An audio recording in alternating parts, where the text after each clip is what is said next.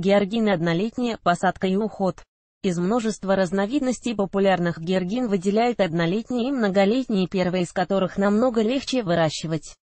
Не требуется формировать клубни, выкапывать их к холодному сезону, оберегать растения от заболеваний. Для того, чтобы украсить клумбу, достаточно вырастить георгины из семян, посеяв их за два месяца до начала цветения. Это довольно красивые цветы, которым отдают заслуженное предпочтение многие садоводы. Выведено множество сортов, различающихся формой и окраской. Выращивание из семян – главное отличие однолетней культуры. Рассмотрим, как их правильно выращивать. Сведения о культуре. Цветник с георгинами выглядит восхитительно красный, белый, розовый, желтый и другие цвета.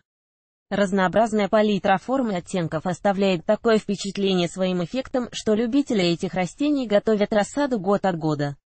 Цветение начинается в июне, а заканчивается морозным сезоном. Как правильно вырастить георгины из семян? Сначала познакомимся с особенностями этих ярких цветов. Однолетник представлен во множестве разновидностей, из которых всегда можно выбрать подходящие для своего сада. Есть масса преимуществ перед многолетними сортами и другими обитателями клумб, долгое цветение, продолжающееся до заморозков.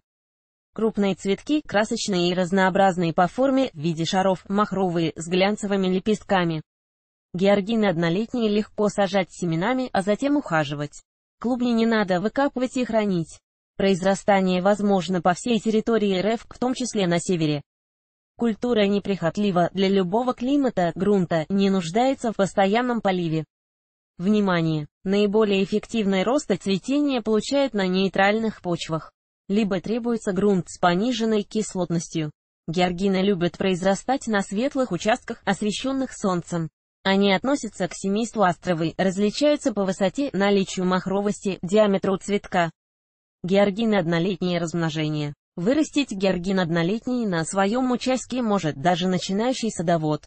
Посадка может быть произведена способом посева семян или рассадой. Первый вариант для мягких климатических условий. Весна, конец апреля или наступление мая – период для сеяния. Заморозки более не угрожают. Делают лунки, в которые опускают семенной материал и прикапывают.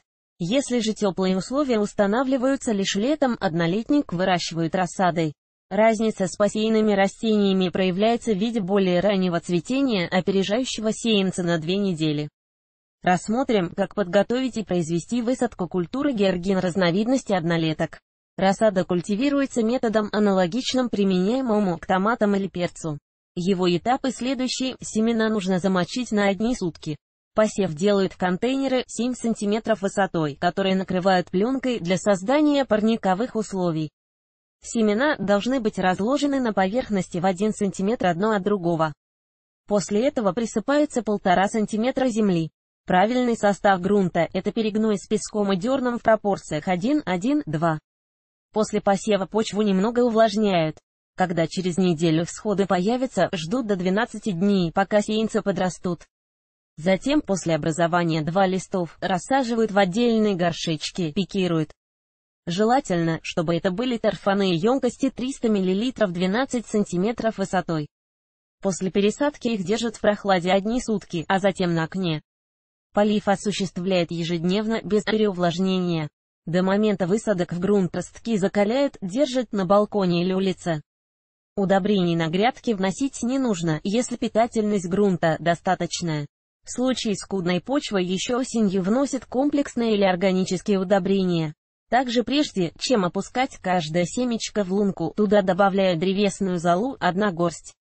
Уход за культурой. Однолетние георгины, посадка и уход за которыми в открытом грунте осуществлялись правильно, порадуют ярким и красочным цветением на клумбе, часто поливать не обязательно. Переувлажнение может пагубно отразиться на росте. Могут возникнуть грибковые инфекции. Следует дождаться пересыхания грунта. Осенью увлажнение почвы прекращается. Подкормка комплексными удобрениями сделает цветение обильным. Их вносят дважды до периода бутонизации после появления первых цветов. Для увеличения численности цветков центральный побег прищипывают, что стимулирует боковые стебли. По окончании цветения цветки отрезают.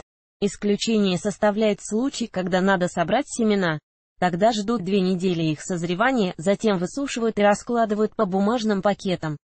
При первых заморозках продолжает ухаживать за георгинами, стараясь сделать цветение более длительным. Растения накрывают на ночь, применяя агроволокно. Внимание! Однолетний тип георгин нежелательно сажать два года подряд на одно место, лучше менять расположение клумбы.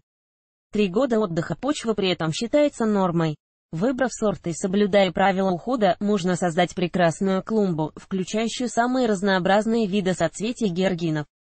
Уход за растением Рекомендации по уходу могут касаться выбора сорта однолетней цветочной культуры, популярными из которых являются Следующий, веселые ребята, высотой до 0,5 метров с множеством стеблей.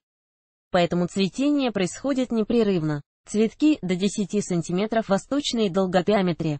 Василиса, низкорослый, до 15 см, растения с махровыми цветами до 7 см восточной долготы диаметре разных оттенков.